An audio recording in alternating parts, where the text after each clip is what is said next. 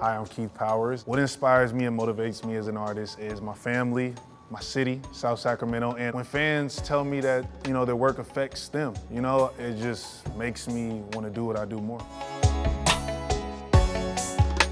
The first thing I notice on a woman, her lips. I always look all in here, her eyes, oh, and her nails.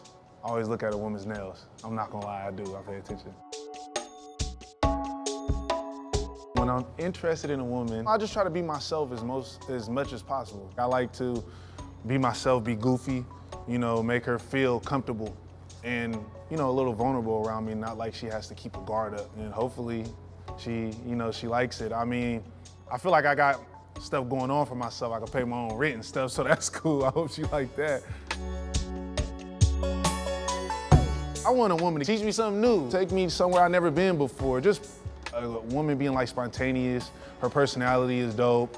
You know, she got things going on for herself. I like to see when a woman is like super busy and just working hard and whatever she's trying to do, it catches my eye. I like when she don't notice me.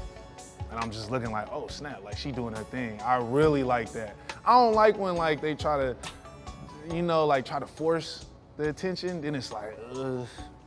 I mean, that won't stop me from liking a woman, but I just like when they're just doing their own thing, working hard, and it's like, oh, okay, I see you. Now that I've gotten a little fame, it's not really hard to date.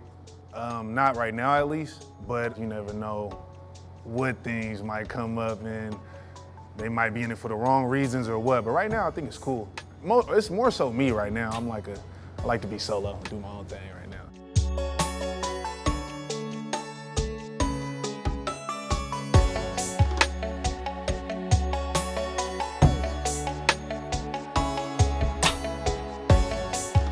Would like to personally invite right here, right here, over there, and up there to watch me play Ronnie DeVoe on the New Edition story on BET January 24th, 25th, and 26th. Those are the days it's premiering, so you better check it out.